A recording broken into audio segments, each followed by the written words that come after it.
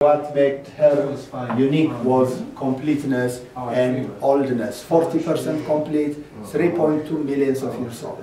But the new find, Selam, is 60% complete, 3.3 millions years old.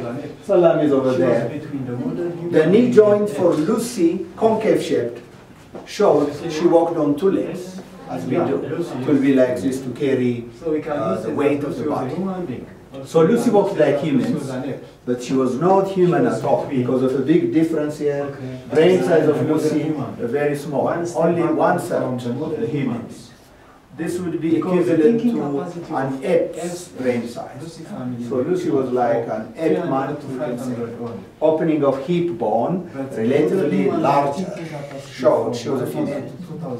She was very small, 3.5 feet tall, a meter and 10 centimeters.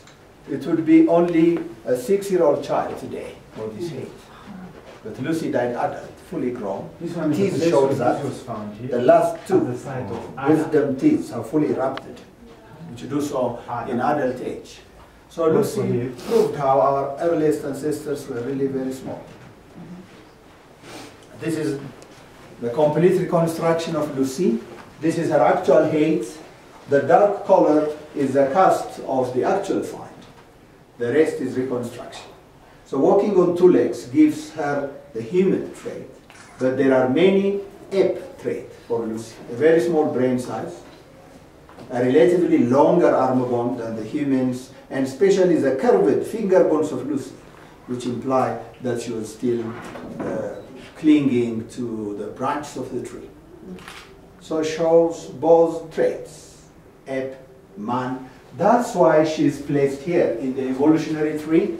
This is Lucy's place. She's in between apes and humans because share traits from both. Brain size of Lucy is equal to that of an ape's 300 to 500 cubic centimeters, but walked erect like the humans, the Homo, who have three times more brain volume, 1,000 to 2,000 cubic centimeters. So that